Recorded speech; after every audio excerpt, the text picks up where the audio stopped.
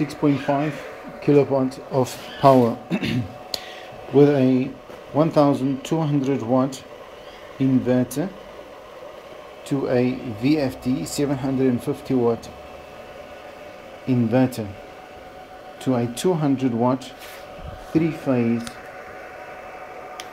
motor coupled to a 6.5 kilowatt generator.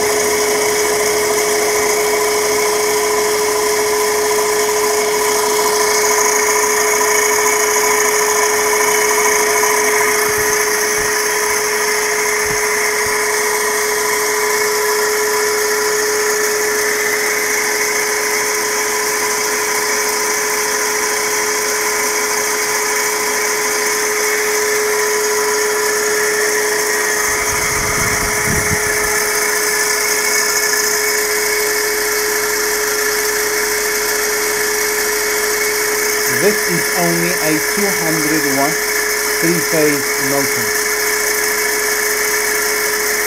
The next project I have already tried a 120 watt three phase with no result.